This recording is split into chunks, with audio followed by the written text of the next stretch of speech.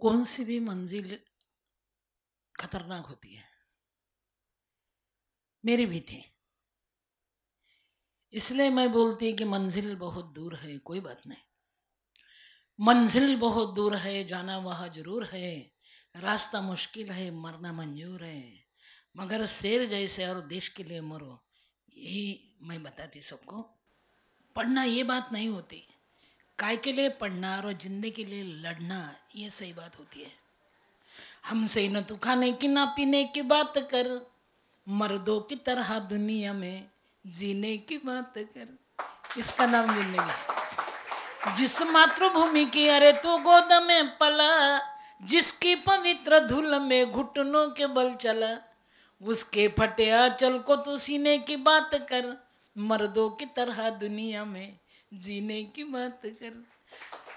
मैं खुद के लिए जीना नहीं चाहती थी और सही बात तो यह है कि मैं मरना चाहती थी, मगर मैं मरीच नहीं।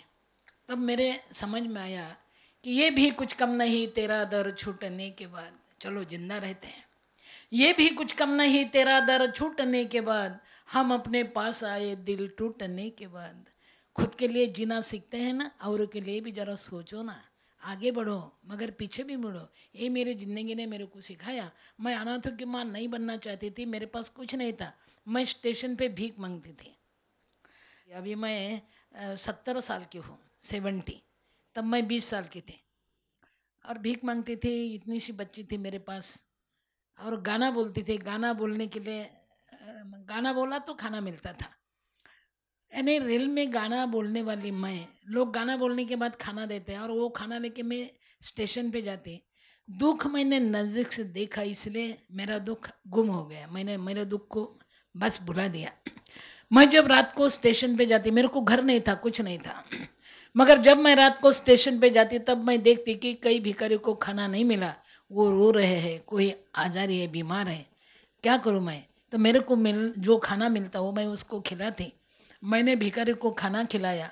उन्होंने मेरे को संरक्षण दिया। हमारे देश के भिखारी भी मानुष की म्यान थे बेटा। इसलिए तुम मानुष के जपो बेटा। अपने दिल में इतना इतना गहराई लो कि तुमको समझ में आए कि अभी रास्ता तय करना है और कौन से तरफ़ जाओ, इधर या उधर। इसलिए ये समझ में आए बेटा, किसकी राह मत देखना।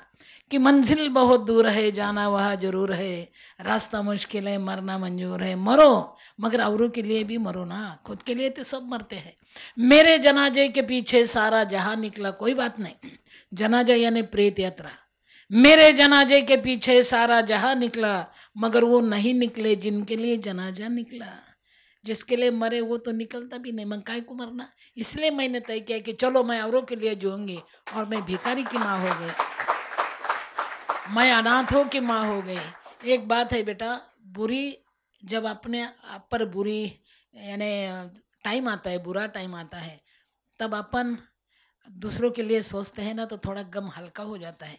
एक दिन मैं स्टेशन पे बैठी थी, रो रही थी, बहुत डर लग रहा था। बीस साल की थी मैं और दस दिन की बच्ची थी मेरी, जिसका जन्म नाल मैंने पत्थर से तोड़ा था और सोलह पत्थर मारने के बाद नाल टूटा था। कितना घट्ट होता है जन्म नाल, अपने अपने माध्यम से। इसलिए मैं रो रही थी और एक भिकारी ज़ोर ज़ोर से बहुत बीमार था।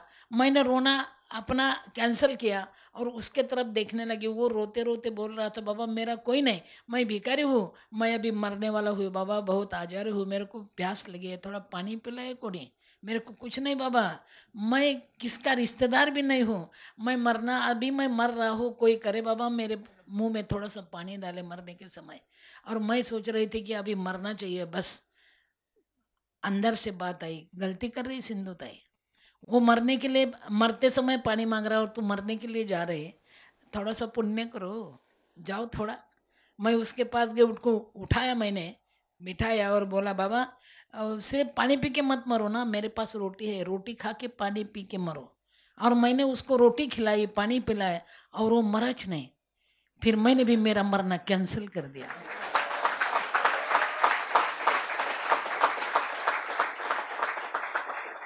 मैं शमशान में जाती थी, मेरे को बहुत डर लगता था बेटा, बहुत डर लगता था। अकेली थी ना, और लड़की थी मैं। लड़की को कितना डर होता है रे, संभल के बेटा। संभल के। लड़के से बहुत संभलना चाहिए। बेटा, मैं एक लड़की थी ना, इसलिए मैं शमशान में जाती थी। और मैं रात को, मेरे को मालूम था कि कोई शमशान में रात को आता नहीं। और जो कोई आता है ना, वो शमशान में ठहरता नहीं, भूत के मारे।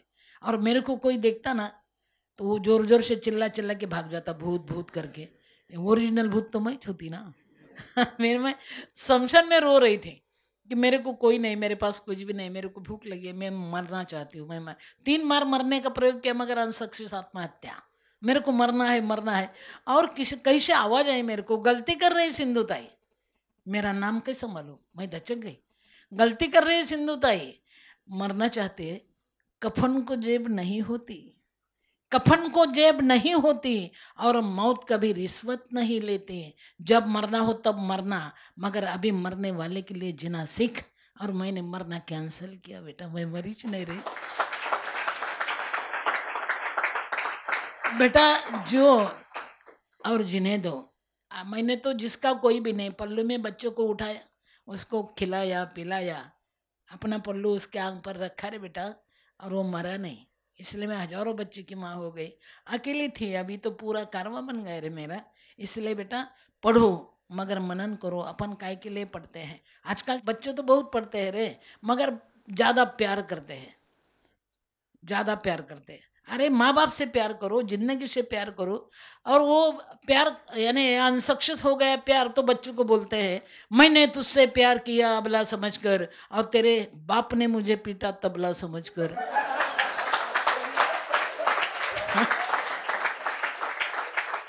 एक बात समझ में लो बेटा, सोचो कि मंजिल बहुत दूर है, कोई बात नहीं। फिर भी तय करना तो है ज़िंदगी का। जब उसी ने मेरे कब्र पर आके मुस्कुरा दिया, कोई बात नहीं। जब उसी ने मेरे कब्र पर आके मुस्कुरा दिया, बिजली चमक के गिर पड़ी, सारा कफन जला दिया। कफन को जलने दो, खुद मत जलो बेटा, औरों के लिए दिल से जलना सीखो ये तो बता रही है आज की दुनिया। जो और जीने दो, आगे बढ़ो, मगर पीछे भी मुड़ो रे बेटा। मैंने कुछ नहीं किया। मेरे को भूख लगी, मैं भूस के, भूख के पास गई। भिखारी चिल्लाते थे खाने के लिए। मैं खाना मांगती थी और भिखारी को खिलाते थे, मेरी भूख अपने आप जाती थी रे। बांट के खाओ बेटा, हमारी संस्कृति है बांट के खाना। बांट के खाना बेटा। खुद दर्द की दवा हो और उसे न दवा ले। सोफे पे मत पड़े पड़े पंखे की हवाले। मेहनत से बनने वाले, पसीने की बात कर, मर्दों की तरह दुनिया में जीने की बात कर। हम करें सो कायदा बेटा, खुद के लिए तो पूरी ज़िंदगी जीते हैं रे सब लोग, औरों के लिए थोड़ा सा जो बेटा। मैंने जब मेरे बच्चे मेरे पल्लू में लिए, और अभी मैं उसकी माँ हो गई, अभी मेरे बच्चे मेरे माँ बाप हो गए। कैसी उल्टी दुनिया है, देखो। अभी वो मेरे लिए सोचते वो मेरे लिए क्या क्या करते हैं रे। मैं चौथी क्लास पढ़ी हूँ, ज़्यादा नहीं, चौथी।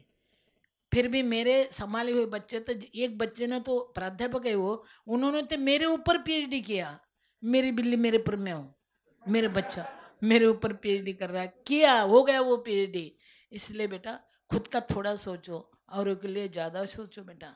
काम करो, बहुत पढ़ो, मगर काय के लिए पढ़ रहे हैं अपन? ये समझ लो बेटा, सिर्फ़ पढ़ना अच्छा बात तो ज़रूर है, मगर काय के लिए पढ़ना? ये समझ में भी ज़्यादा ज़रूरी है रे बेटा। मैं कुछ नहीं थी, मेरे पति ने मेरे को हकल दिया था। सब गनगोत रिश्तेदार दूर हो गए थे, मेरे को मार झोड़ के हकल दिया था। मैंने गैया के तबेले में मेरे बच्चे का जन्म दिया, और मैंने मेरी जन्मी हुई बच्ची का जन्म नाल पत्थर से तोड़ा मेरे हाथ से। मगर अभी तो मेरा सिनेमा निकल, निकला मेरे ज़िंदगी पर उसमें चार ही पत्थर मारे रियल तो मैंने सोलह पत्थर मारे। फिर भी वो नाल नहीं टूटती थी। उस दिन मेरे समझ में आया कि अरे, नाल काटने से दूर होता है जन्म नाल। पत्थर मारने से नहीं टूटता, उसका नाम जन्म नाल होता। सबने हकल दिया मेरे को। मैं घूम रही थी बेटा, भीख मांग रही थी। अभी हज़ारों की माँ हो गई, ढाई सौ दामाद आ गए मेरे को। साढ़े सात सौ पुरस्कार की मानकरी हूँ मैं। कहाँ थी, कहाँ आ गई रे? इसलिए बेटा, जीना सीखो। जो और जीने दो, आगे बढ़ो, फिर भी पीछे मुड़ो बेटा। माँ बाप की ख्याल करो बेटा माँ बाप का। बहुत कष्ट उठाते रहे वो लोग तुम्हारे लिए। तुम बड़े होते और बस गुम जाते। किधर भी अपना सोचते।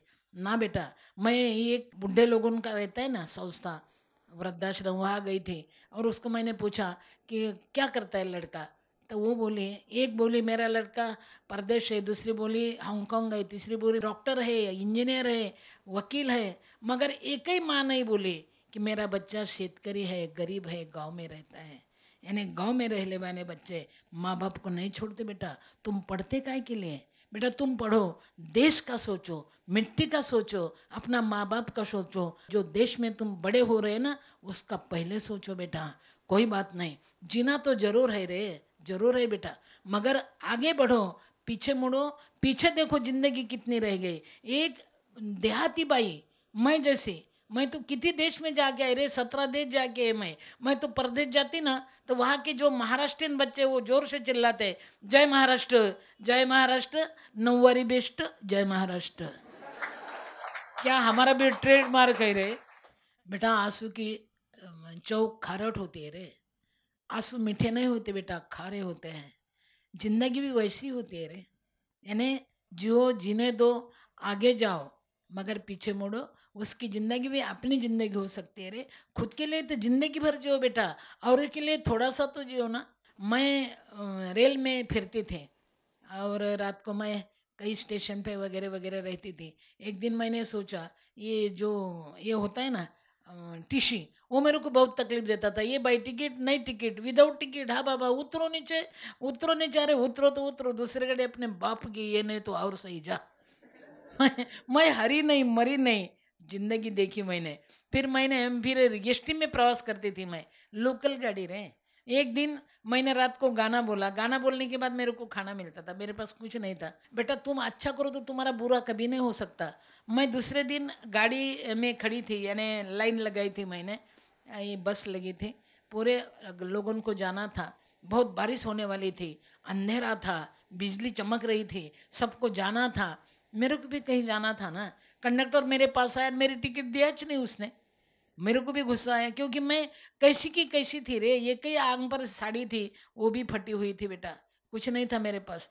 फिर वो चला गया गाड़ी में, मैं भी गई गाड़ी में, हरना हमको मालूम नहीं। फिर वो बोला, भाई, मैं टिकट नहीं दूँगा। मैं बोली, मेरे पास आके बंद किया ना, मैं उतरूँगी नहीं। वो बोले, नहीं, तेरे को उतरना पड़ेगा। मैं बोले, मैं नहीं उतरती, मेरे को किसी से झगड़ा करना था, वो कंडक्टर ही मिला ना झगड़ने को। व्याजा सकट झगड़ा सुनो। इतने में बेटा भगवान है, कोई तो एक अज्ञात शक्ति है बेटा, जो तुमको आगे बढ़ाती है रे तुम अच्छा करो, वही साथ आता है। फिर एक भिखारी आएगा आ गया बेटा, गरीब, उन्होंने मेरे गाड़ी का पल्ला पकड़ा और मेरे को और कंडक्टर को झगड़ने दिया। फिर वो मेरे को बोला, भाई, रात को तूने भगवान का गाना बोला ना? मैं बोले हाँ तुमको कैसे मालूम?